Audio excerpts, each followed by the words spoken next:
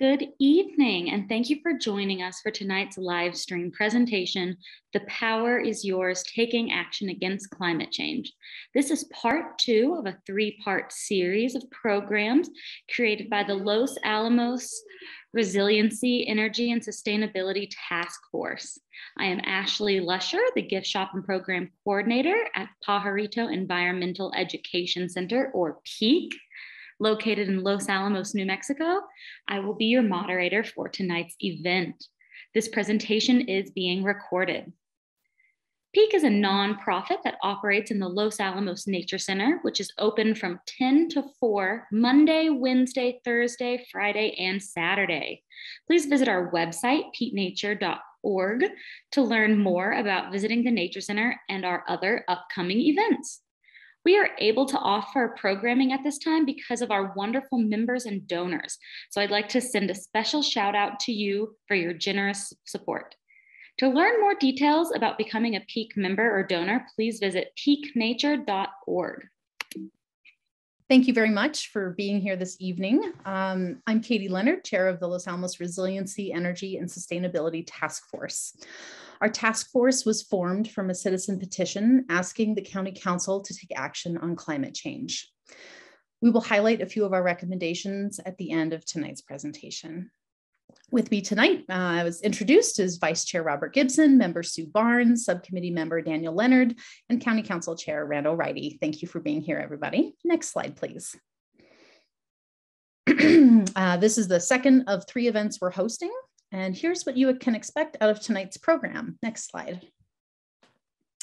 A vocabulary overview, an explanation of batteries versus fuel cells, how to recycle right, things you can do, individual actions to reduce your carbon footprint, including reducing food waste and a plant-rich diet and more. Um, a brief review of the COP26 meeting, uh, the LARES Task Force recommendation highlights, and then information on how to contact lawmakers. We will be happy to take your questions at the end, so please save them until that time. Next slide, please. we'll start with a little climate change vocabulary. We went over these last time, but not all of you may have been with us. So using the chat feature, please type in your own definition of the term anthropogenic. We'll give it just a second for some responses to come through. Don't be shy.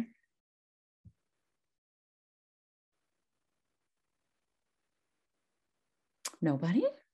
Okay. Well, there we go. All right, we got a couple going on there. Great. Uh, I'm going to pick Caroline Blackburn. It says created by human. Yeah, man-made um, is, is um, anthropogenics. Thank you for all of those other responses. Maybe I'll wait just a little longer. Um, the next one is photovoltaic go ahead and type in what you think that term means.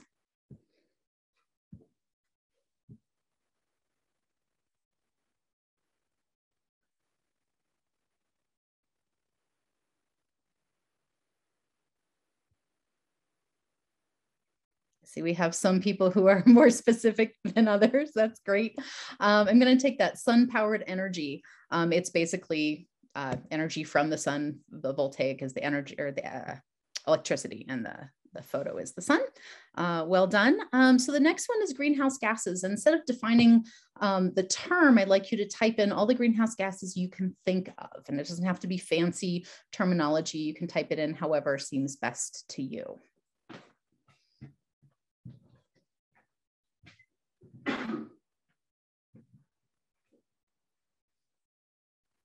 And so just to be um, maybe a little bit more clear, we're looking for like the actual gases themselves. Yeah, I see a lot of good, a lot of good answers coming up through here.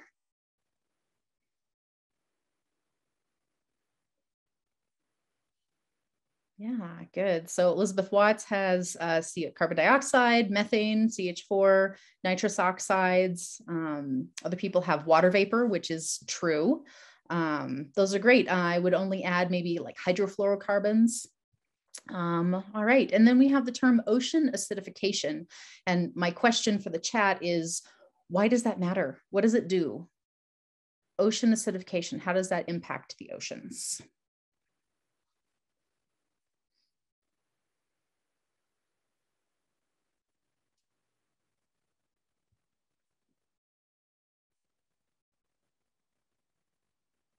I'll just let a couple more answers come through. Oh, these are good. Nice. Uh, so Joni uh, says it lowers the pH of the ocean water, which is true. That's the acidification part. And then uh, Erica Harding, it deteriorates the aquatic life. Um, and what it does is it that changes the chemical structure of the stuff. And some of the crustaceans, like they can't build their shells or their exoskeletons or the corals can't um, calcify properly. So those are great. Thank you for all the, you're welcome. Uh, thank you for all these great responses. And then the last thing is deforestation. And I'd like you to put in the chat um, why forests are being cut down. There are many ways uh, many reasons why forests are being deforested.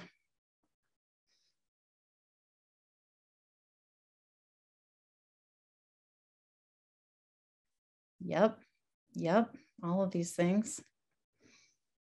Yeah, so farming, oftentimes are these cash crops that are like real quick to grow and sell. Um, soybeans, corn, things like that. A lot of times it's cattle, agriculture. Yep, way go, Sue Barnes. Uh, also, um, logging is one of them. Um, grazing, uh, creating grassland for cattle. That was Judy's. Good job. Lumber from Barbara. Yep. Clear the land for development. Yeah, these are all really great responses. So thank you for those.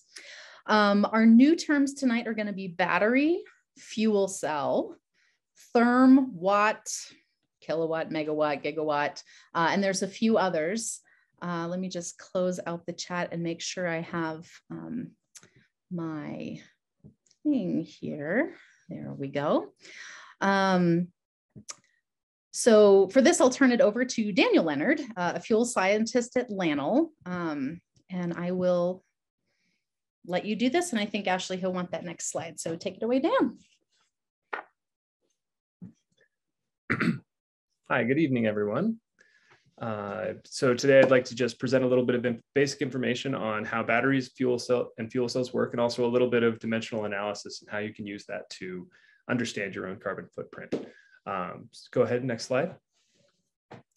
So first, uh, we'll talk about lithium ion batteries. You can see on the left is my little cartoon of how a lithium ion battery works. Uh, you have the green circles, those are the lithium ions themselves. And then you have electrons uh, on the anode side of a battery, which is the negative of the negative pole.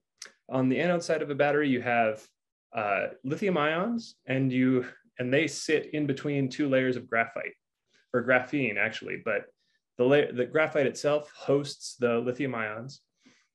The anode then gives up its electrons to the cathode, and the uh, electrons go through the circuit the ions go across the battery and get transported through the separator, which is just there to keep the anode and cathode from touching each other and creating a short circuit.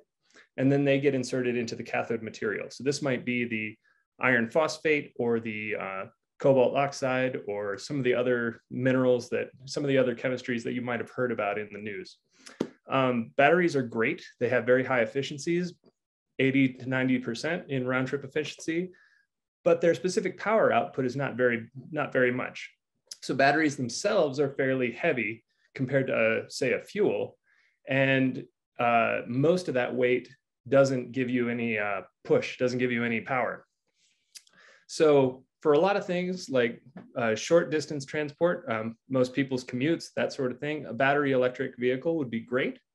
But if you want to do long um, distance transport, moving heavy objects like a train or, tra or a trucking, you need to have another, another uh, method of moving. So the main reason is because the capacity of a battery scales linearly with the battery size. So if you have a battery of a given power output, if you want to go twice as far, you need a battery that's twice as big. And if you, the, the size and weight of those batteries due to their low uh, specific power output gets pretty big uh, pretty fast. Um, there's also some other issues with batteries, and that one being the depth of discharge. So the amount of energy you can actually get out of your pack um, is limited in order to prevent irreversible damage to the battery itself. Uh, you've probably heard that you shouldn't discharge your phone battery all the way before you charge it again. Um, that's just to protect the battery itself. And and on top of that, every time you charge and discharge a battery, you wind up reducing its total capacity over time. Uh, so each time you get just a little bit less energy out of it. Uh, there are some games you can play with, with how much of the capacity you use, but then you're using, then you can have basically less of a battery than you thought you did. Um, and then charging is slow compared to other vehicles. So we're used to just filling up our gas tank in you know three to five minutes. Whereas even with rapid charging, it takes quite a bit longer uh, to fill up a uh, battery electric. Uh, next slide, please. So another option for transport and for uh, heavy duty uh, applications are hydrogen fuel cells. And if you click one more time, we'll see a little animation of what happens in a hydrogen fuel cell. So the hydrogen comes in on the anode side, reacts with with the catalyst to give up its electron. The electron goes through the circuit to power whatever you're looking, whatever you have it connected to, and then uh, attaches to the attaches to the oxygen, and then the um, hydrogen ions get transported across the membrane in order to uh, finish the reaction, and the resulting uh, reactant or the resulting product is only water. Um, there's lots of applications for these in heavy duty transport, uh, like trains or trucking, um, that's the main, uh, and even aviation in some cases. And the, to the total power output or the specific output is much higher than a battery. So by like an order of magnitude. Before we were like around 0.2, 0.3 kilowatts per kilogram. Current fuel cells are around five kilowatts per kilogram. They have lower efficiencies than batteries, but it really all depends on what you need to do. Um, most of that, you can get all of the energy out of your fuel cell uh, based on burning all of your, uh, all of your available fuel. Uh, fueling is fast, just like regular vehicles. And your range is only limited by the amount of hydrogen that you can carry. Um, I know this is a pretty brief uh, introduction, but um, things are pretty exciting in hydrogen these days. All right, next slide, please. Okay, so I wanted to talk a little bit about some basic units uh, and the concepts behind them and how you can use them to understand your carbon footprint. So the first two ideas really are power and energy. Power is the rate at which you can transfer energy and energy itself is the thing that's transferred to do work on an object. So if you wanted to heat up an object, you have to put energy into it. And power is how fast you're putting that energy into something. So some common units for power would be like megawatts or kilowatts, and common units for energy are like BTUs, therms, kilowatt hours, that sort of thing. Uh, so next slide, please. So quickly, some using these units, uh, some definitions. Uh, a BTU is the amount of energy you need to, to put into a pound of water to change it one degree Fahrenheit. Uh, a therm is 100,000 BTUs. And then a kilowatt hour is an amount of energy expended over an hour. So if you had a power output of one kilowatt and you sustain that for one hour, you used one kilowatt worth of energy. If you used two kilowatts worth of power over half an hour, you still used only one kilowatt worth of energy. And then kilograms or kg of CO2, that's just carbon, kilograms of carbon dioxide. So I took my last power bill and, cal- and uh, calculated how much CO2 we produced just keeping our house warm. Uh, so we used 122 therms to, of natural gas, and that resulted in a total carbon output of 600, almost 650 kilograms of CO2. Um, that I don't, this is the first time I've done this calculation for myself. So it seems like a lot of CO2 to me. And we don't keep our house that warm. It's only set to 66. Um, but using these sorts of ideas or using these units and using these ideas, you can actually look at your own, uh, take your own power bill, convert it into carbon dioxide, amount of carbon dioxide, and you can see where you stand to make the most benefit in changing your behavior or say uh, in your next upgrade on your own carbon footprint. Um, with that, I'll hand it off to to Katie. Next slide, please. Thanks, Dan. okay, um, fuel cells and batteries are big scale changes and like electric vehicles and solar panels, those are big investments. Big changes are good and important, but they can also be expensive and intimidating. And so we as individuals might want more medium and small scale actions to take in our own lives. Next, uh, this slide is fine actually. we all know about reduce, reuse, recycle. And the emphasis really should be in that order. Uh, reduce first, reuse as much as you can, and then when you can't use it anymore, recycle it. However, there are many more things we can do than just this, these three. Next slide.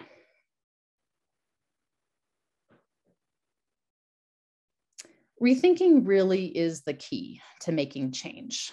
I would be willing to bet that most of you have at least one reusable mug uh, or water bottle in your kitchen. Uh, pandemic notwithstanding, how many times have you gone to a coffee shop and thought, oh, I should have brought my reusable mug, right? I've done it. Uh, creating a habit takes time and commitment. If you regularly bring your reusable grocery shopping shopping bags uh, to the store, congratulations, you've created a habit. Uh, now we need to do this for lots of things. Um, we also need to refuse and reduce. And this means needs versus wants. Uh, how much do I really need? How much stuff? We do need stuff. Uh, and the stuff we have might be able to be repaired or refurbished before getting something new. Although some things are not the way they used to be. Uh, sometimes it's hardly worth repairing when the new one costs basically as much as the repair does or sometimes it's just easier to get the new one. Um, I get it. Uh, but there are some easy things we can do to use a little less and to make things last a little longer. And, you know, thousands of people, millions of people doing all these little changes does add up. Next slide, please. Repairing clothes, for example, patching your jeans or your shirts, sewing up holes in clothes, these can extend the life of your garments and also save you money. Next slide. We're using shirts and socks for cleaning rags. Um, we're using dish towels as hanky, like cutting them into smaller sizes. Uh, we're using jars for all kinds of things uh, is very helpful, not just recycling them. Uh, next slide. I think many of us uh, reuse simple things like Ziploc baggies. Uh, we wash and reuse them. Here's some creative drying racks uh, that I've seen. The top one is a colander with chopsticks in it, which seems to work really well.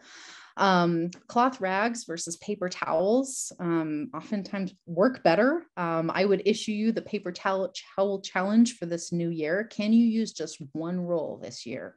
Choose wisely. Um, other reusable items can help keep waste out of the landfill and also be convenient when you need them. Next slide.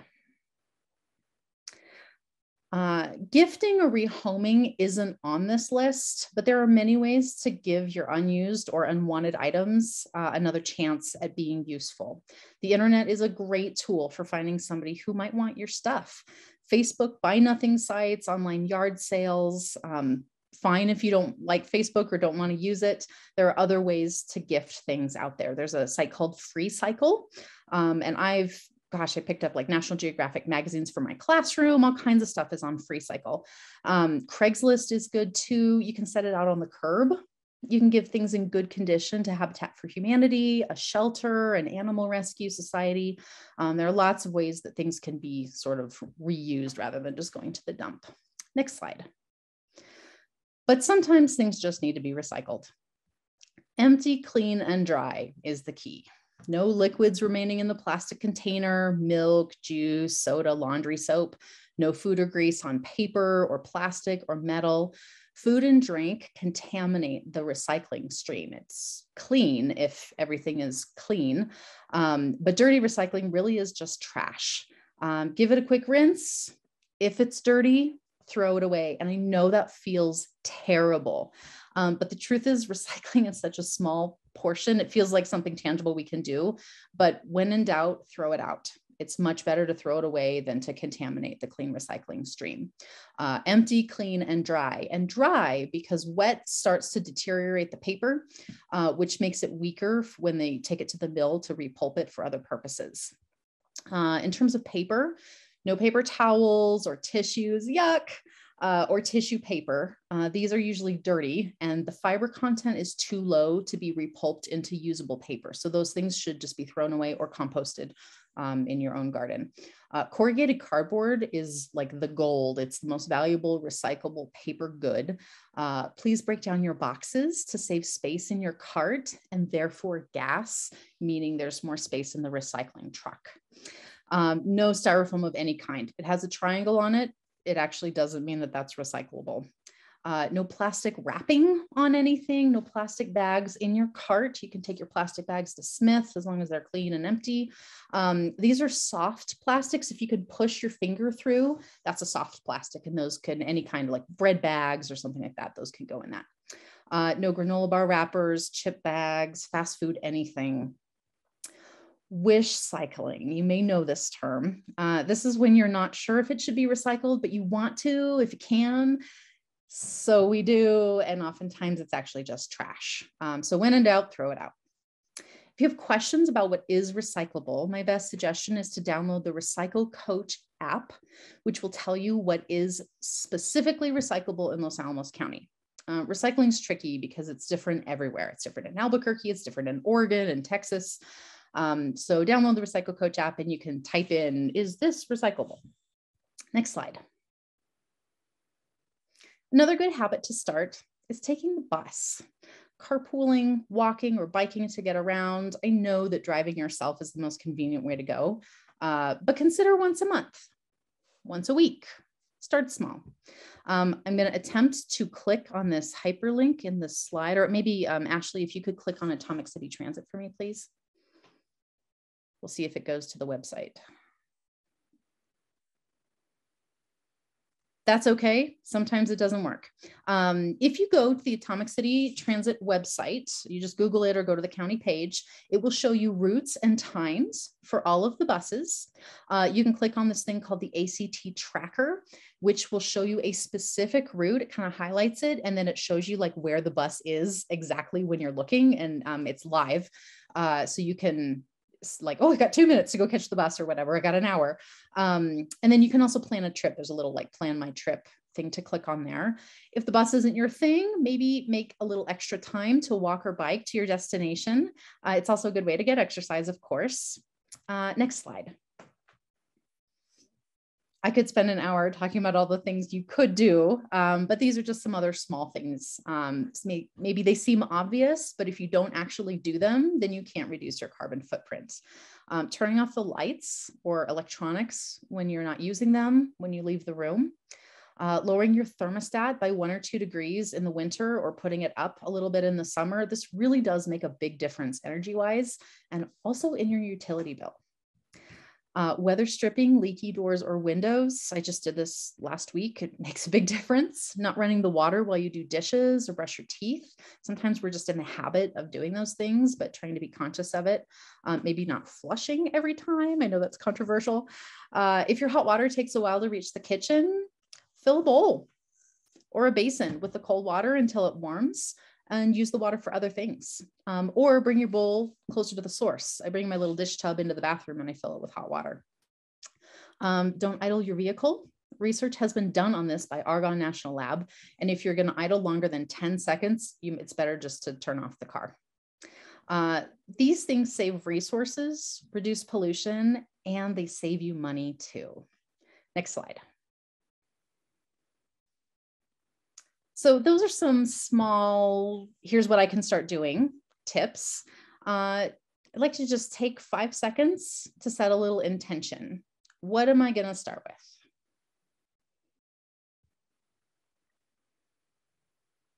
Next slide.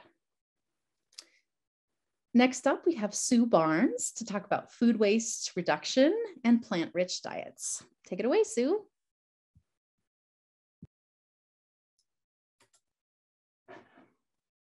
Thanks very much, Katie. Um, a great introduction to the things that we can do at home to reduce our um, carbon footprint. And tonight I want to briefly tell you about why you should care about food if you care about climate change, uh, or you care about water, or wildlife, or your health, or your budget, or really any one of a bunch of important issues. Um, and I also want to share with you some ideas and resources on how to make changes in your food print to reduce emissions, waste, hunger, and so many other things. Let's start with why food matters for the climate.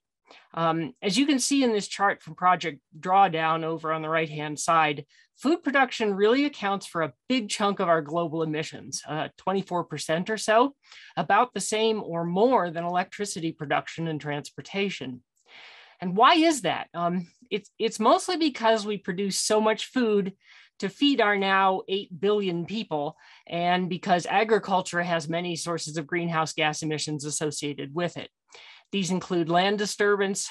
Um, we already discuss, discussed deforestation, uh, pollution from fertilizers and pesticides, processing, transport, and sale of food, and the infamous methane released in cow burps. Um, so there's lots of sources from lots of food production, and all of that adds up to lots of emissions. Next slide, please.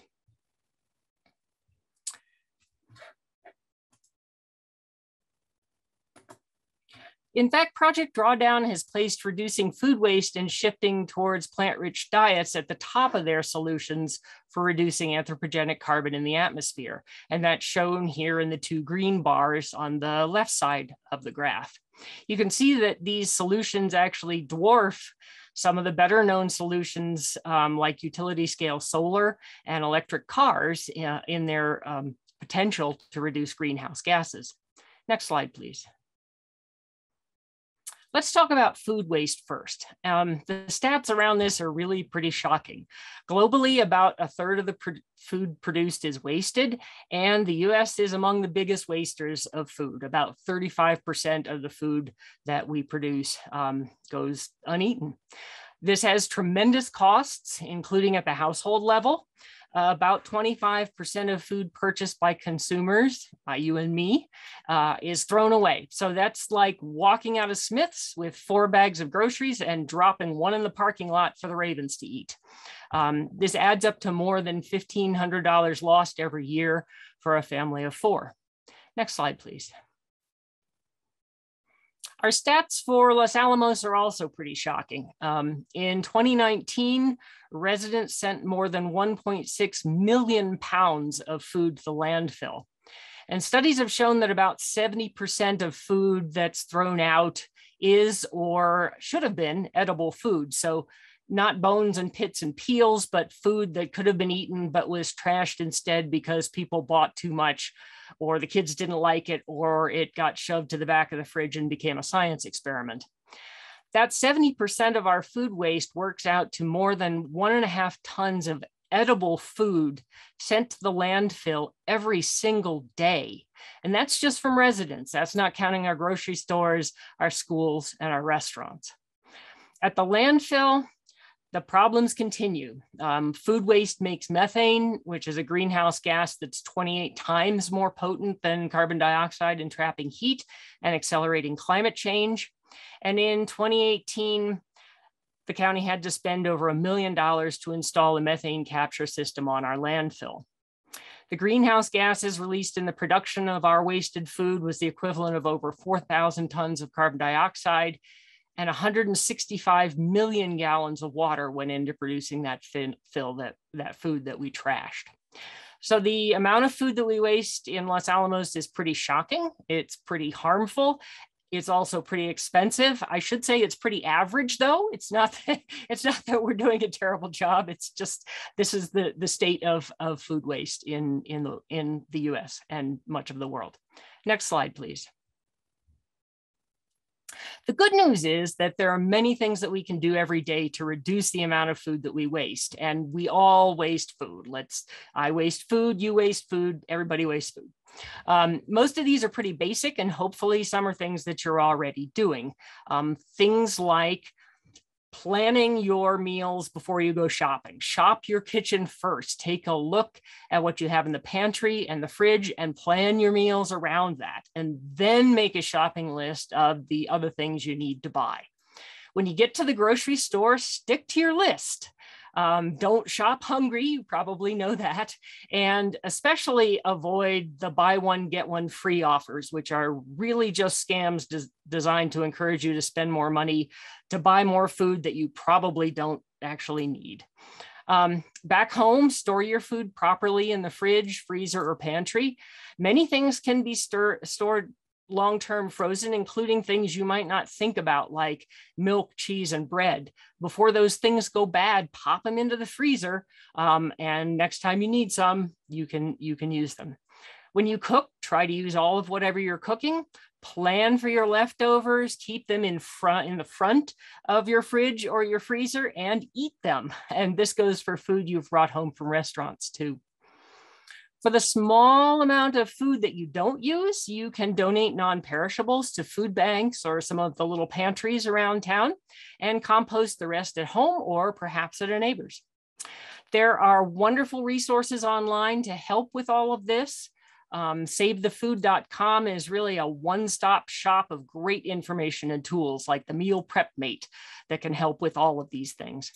Our Zero Waste team has compiled a bunch of resources that are on the um, Environmental Services website shown here, and you can go to there, including seeing a, a, a video of an hour long presentation of this if you want to get much further down into the weeds on it. And we've even put together a great kit with shopping lists and food storage guides and a family food waste prevention pledge um, that you can pick up at the Nature Center next time you stop in. So we encourage you to take some steps to reduce wasting food in your household, your workplace, your school, your church, at restaurants, or wherever you buy and consume food. Next slide, please.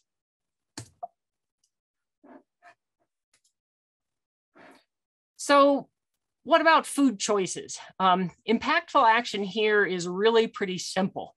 Shift towards a plant-rich diet reduce consumption of animal source proteins in favor of plant-based proteins. There have been many recent studies that look at the climate impact of various foods, and they all come up with the same basic res results. Um, the production of meat, dairy, eggs, poultry, and seafood, at the, shown in the top bars of this graph, has an outsized impact on greenhouse gas emissions compared to production of plant foods. Meat and dairy from ruminant animals, such as cows and sheep, are particularly problematic. And this is true pretty much regardless of how the animals are raised. Um, there are tons of resources online elsewhere and, and elsewhere to help you make this shift in your diet. Next slide, please.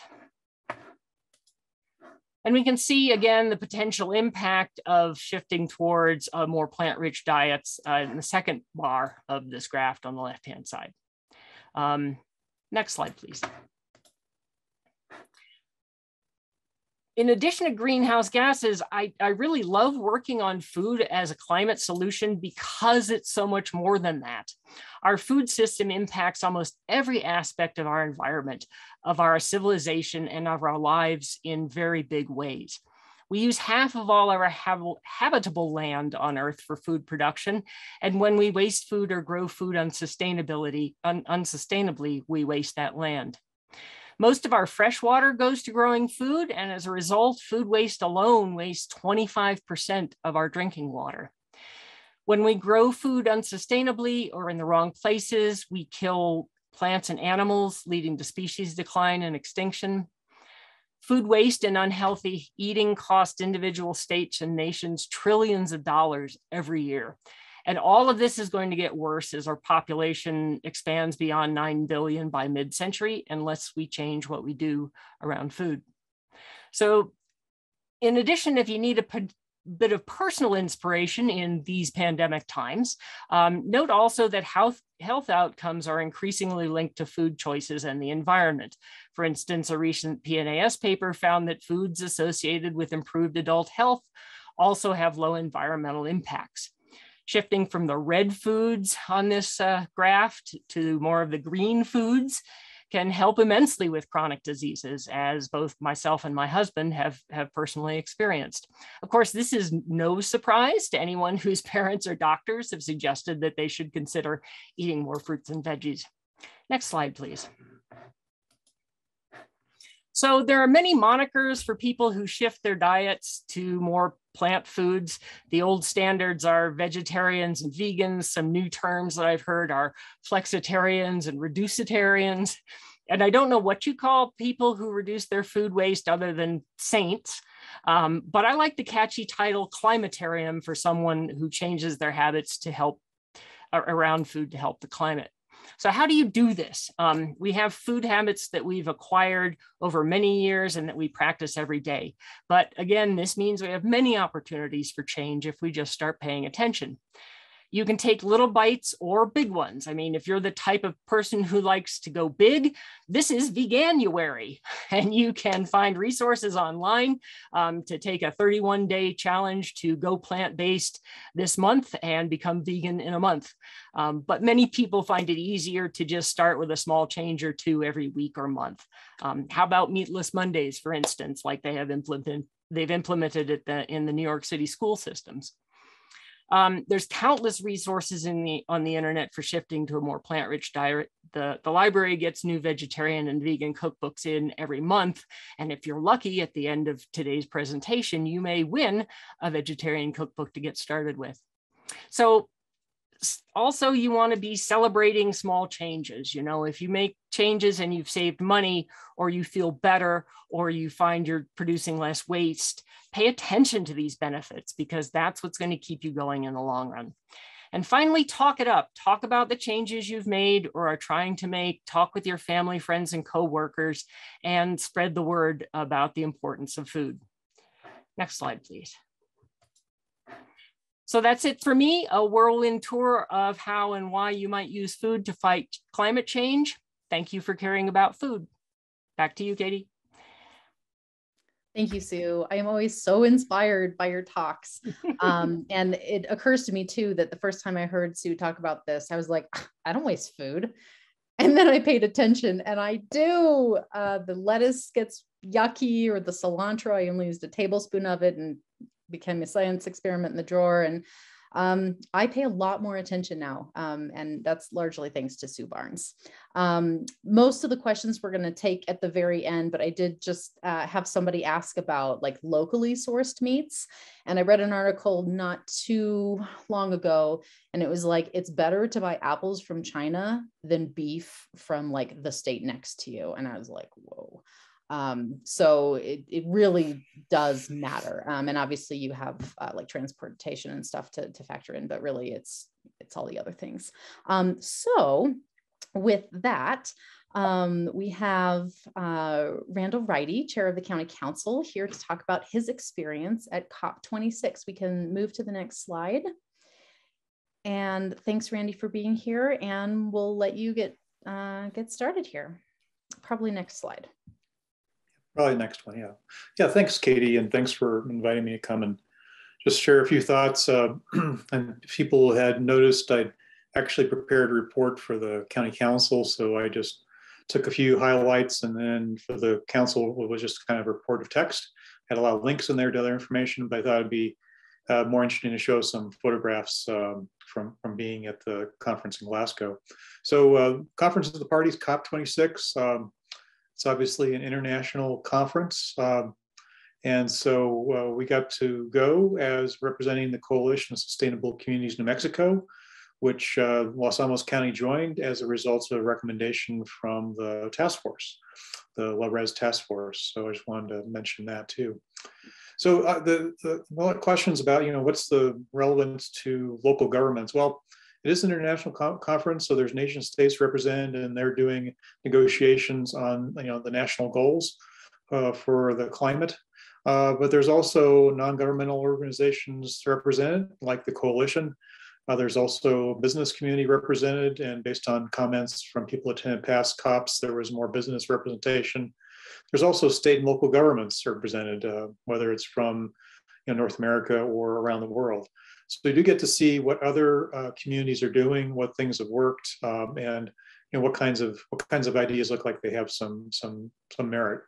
And so just for this, just uh, in the pavilion area, they had a pavilion for the nation of Tuvalu, and uh, that's what's on the left. And then uh, on the right is a screenshot of the Prime Minister of Tuvalu uh, speaking to some folks uh, towards the end of the of the conference. Go to the next slide, please. And, and I think another thing, um, just to highlight for here, uh, there are a lot of pavilions and presentations on science. Uh, so this is just a couple of examples uh, where we had some science presentations.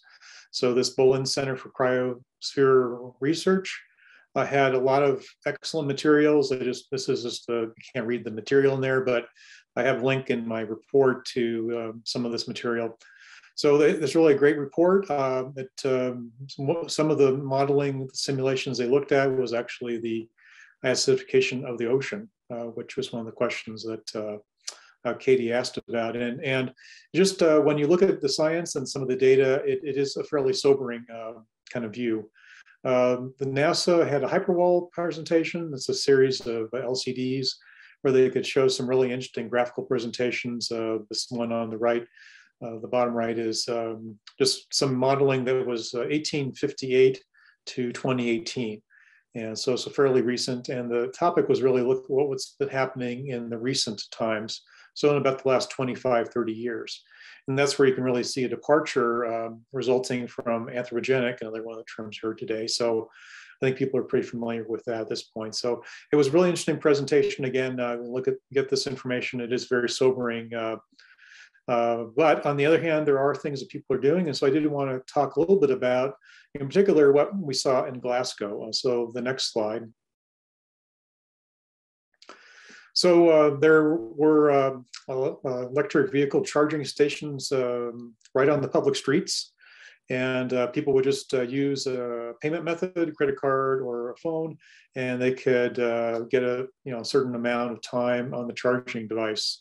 And uh, so I thought that was really interesting to see that just basically sitting there, and uh, you can kind of tell they they're not they don't look like they're new, so they've been there for a while.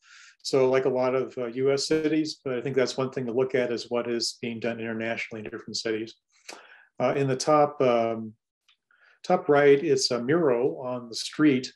And I just thought this one was interesting. Uh, Glasgow has a lot of uh, murals around the city. And this one is uh, demonstrating, you know, going from, uh, you know, blowing on a dandelion to um, um, turbines, wind turbines. And so that's kind of a, I think these are more hopeful messages. Um, and then there at the airport, um, there was some interesting art for COP26 and so this is a, piece of art at the installation there uh, with a young woman in, in, front of a burning forest and just kind of with the urgency necessary to be uh, taking some action. So, and I think, yeah, in, in, in general, uh, you know, people wonder, you know, what what's the experience at COP? Do you come back feeling hopeful or not? And, and I think you do feel hopeful. I mean, there's a lot of good information about what's going on, uh, more certainty that we have in, in the modeling and the science and uh, a big commitment from a lot of parties, uh, from nation states all the way down to uh, individual cities. And so I think that just is a good segue to what um, you know. I think the uh, what Res is proposing, and uh, I think with that, I'll, I'll turn it uh, back, I guess, to Katie to moderate. Thanks, Randy.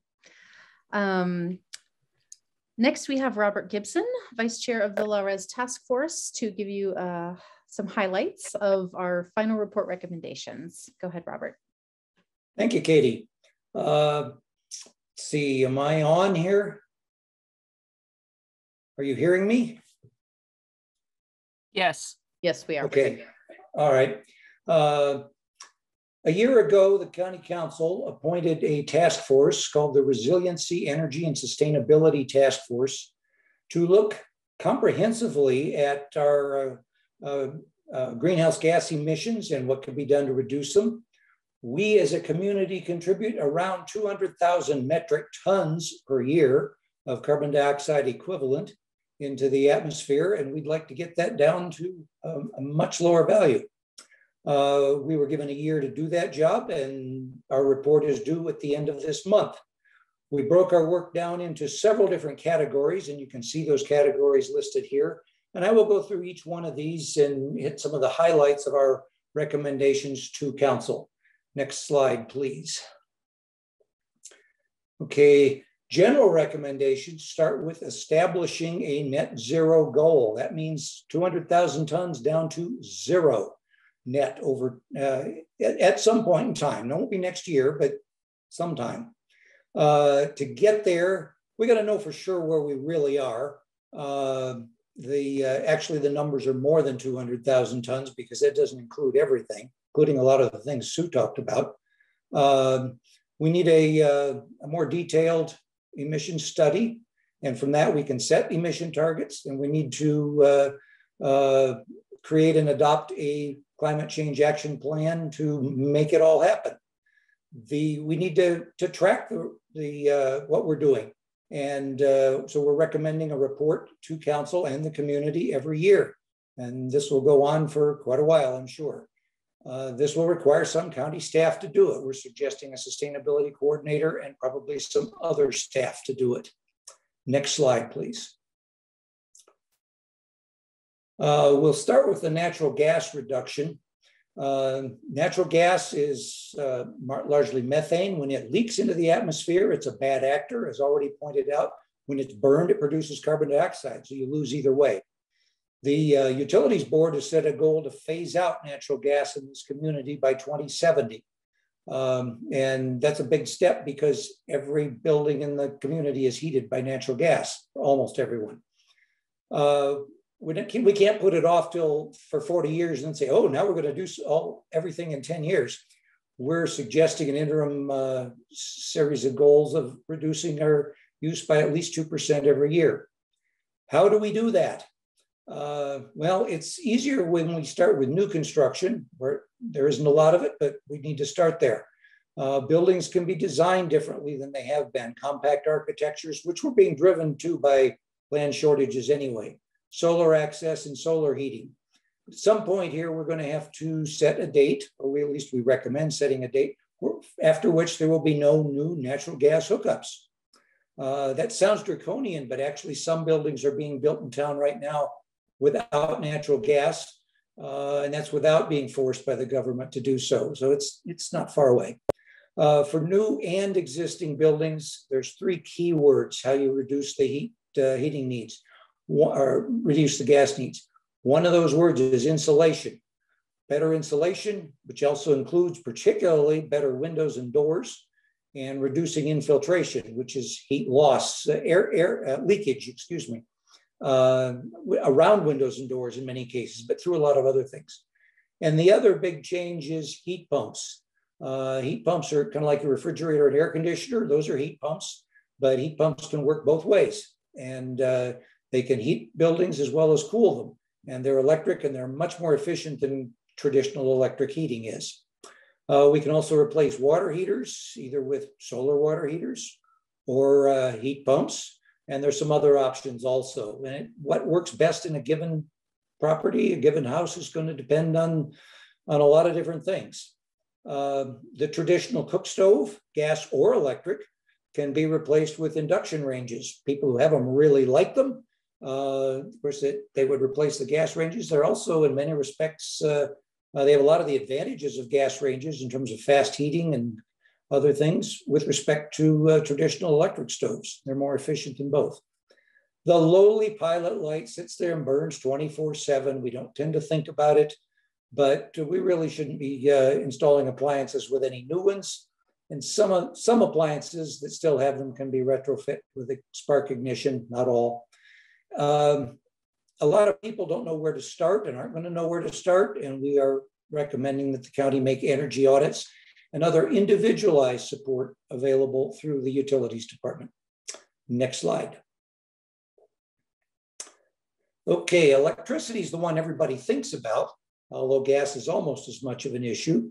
Um, but uh, we've got to pay attention here too. We are uh, assuming at this point that we will continue to pool our power supply with the laboratory as we have been doing for the last almost 35 years. That complicates the planning a little bit, but it also opens up some other opportunities. Um, we assume that electric demand will increase. Uh, it's been pretty stable for the last 20 years, but electric vehicles are starting to come in. And as I just mentioned, we're going to be moving to electric heat um, so that demand is going to go up. We are looking at carbon-free power sources, uh, of course. Uh, solar, wind, and nuclear being the most obvious. Uh, you can't really talk about solar and wind without talking about storage. That's really the, the bigger and bigger issue and more expensive issue right now.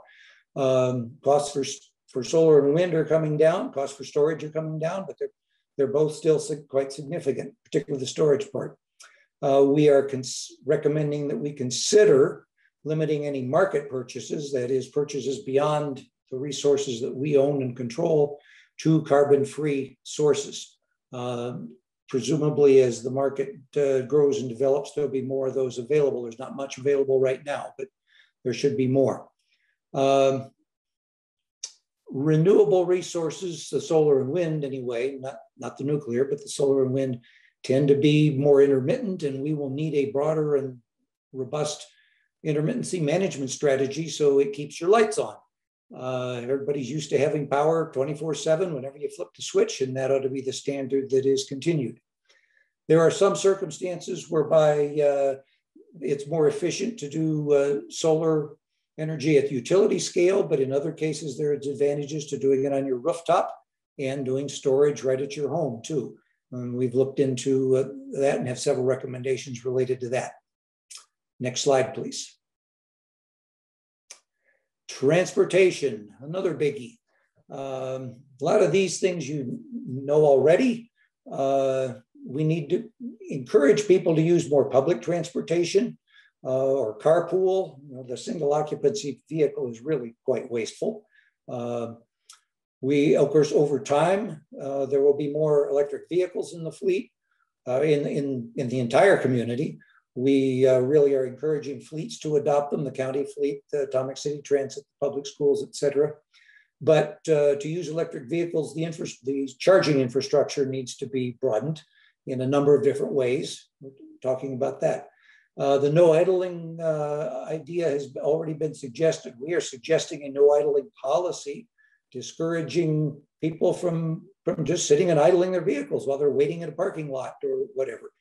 Um, the uh, uh, and of course it's better for both our health and the environment to bicycle and walk wherever possible.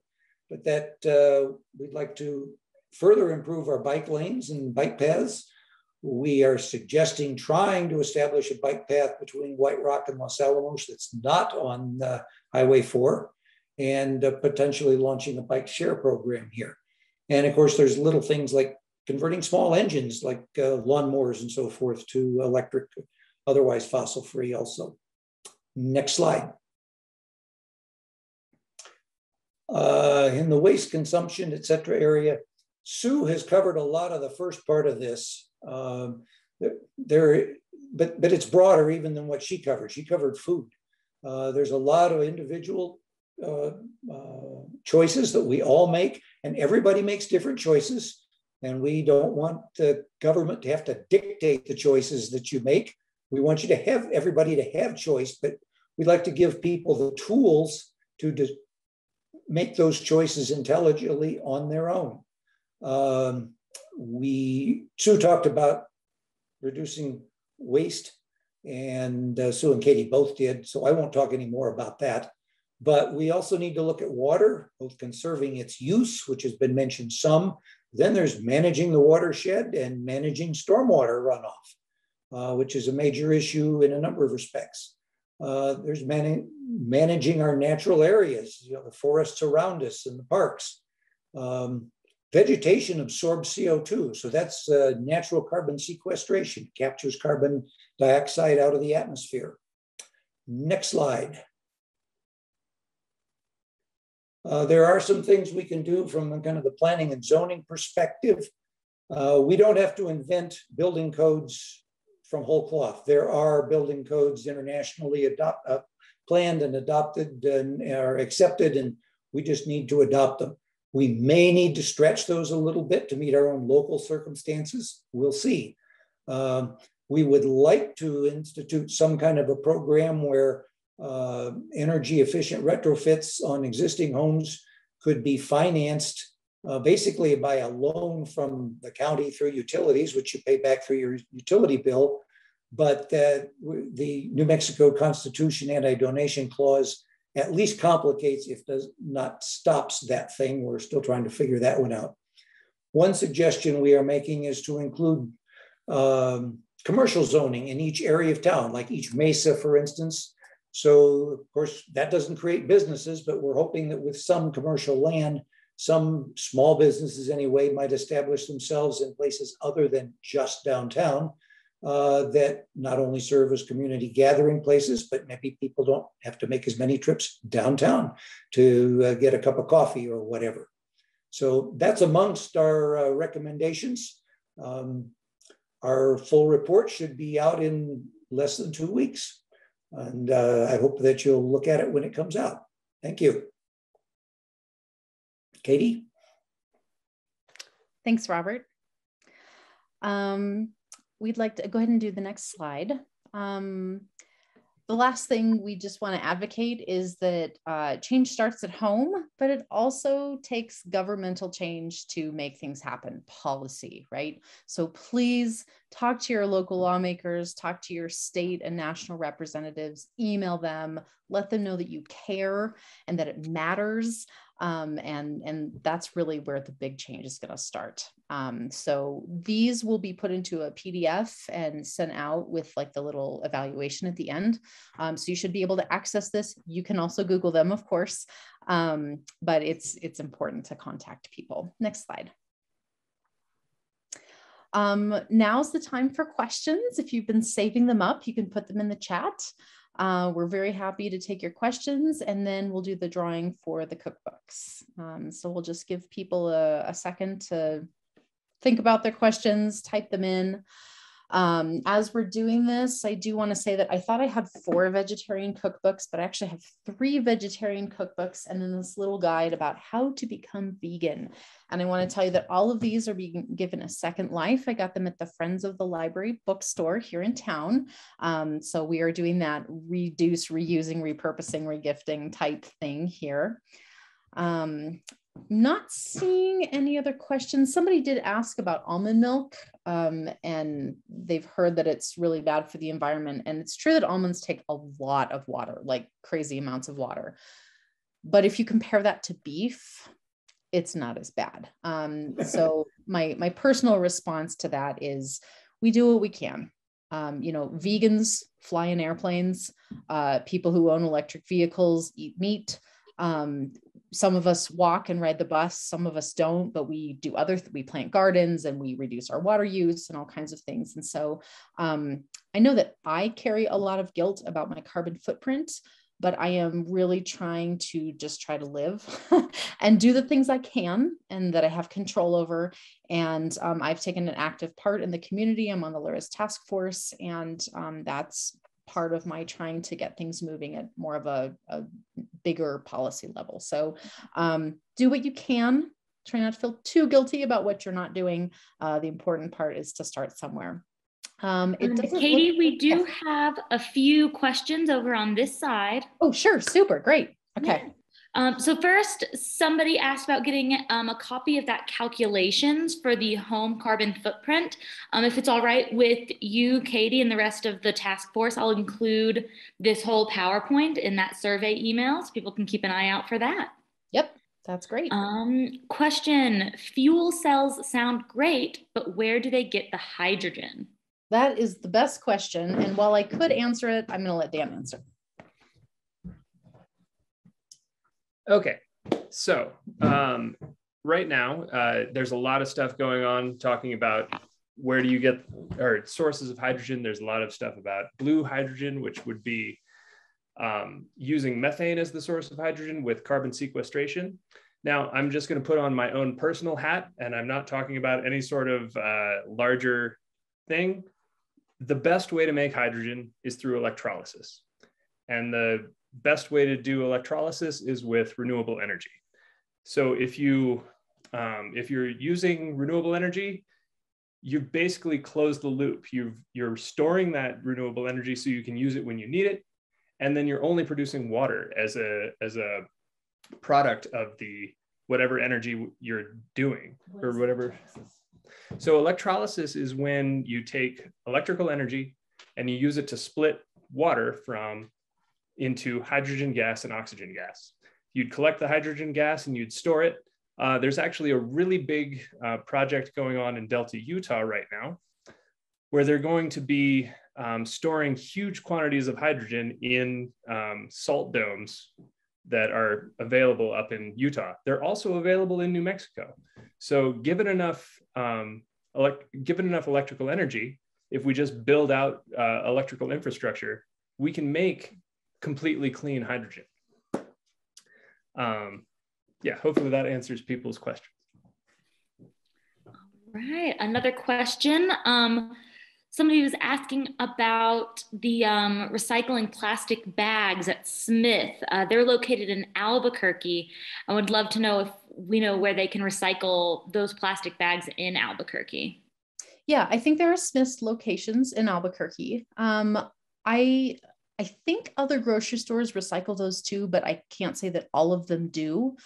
Um, the other thing you can put in that, anything that you can kind of push your finger through a little bit counts as one of those soft plastics. So like Amazon mailers, like those white and light blue prime ones, um, those can be recycled. But if it's like paper on the outside and the bubble in the middle, those can't be recycled because they can't separate those materials at the MRF. Um, I hope that answers that question. And I just want to say one other thing about the hydrogen is if you're using electrolysis, and your source of energy is renewable, wind or solar or something like that, then it's like zero carbon. Um, doesn't mean there aren't other things, but um, it's it's a really good way to do that. Um, so you do have to think about where your electricity comes from. If you're burning coal to run the plant to make your hydrogen, that's not as clean as it seems. So I just wanted to say that. Next. All right. Um, recycling. Despite what the app says, I keep hearing that almost nothing in the US actually gets recycled. It goes to ABQ, but almost all recycled material now goes to landfills since China stopped taking paper and plastics. What actually is recycled? Unfortunately, I don't have the answer to that. Um, what I do know is that our recycling from Los Alamos gets sent to Albuquerque. Some some things have a market. Really, it depends on if there's a market for it, right? Um, and so, like when I used to live in Oregon, they only would take plastic bottles and jugs. They wouldn't take your yogurt containers or your raspberry clamshell. I mean, any of it. Was just like the worst feeling like I'm throwing all the stuff away. Um, but if you're recycling it and it's just going to go to the landfill anyway, that's just expensive trash. So that kind of made me rethink, well, gosh, am I going to buy raspberries anymore? I learned to make my own yogurt so that I wasn't using those containers. You can make the argument just stop eating yogurt and dairy in general. Um, but I wasn't ready to do that. Um, so, in terms of what is actually recycled, I don't know if there's anybody on the task force who does know better. Sue might be the right person for this.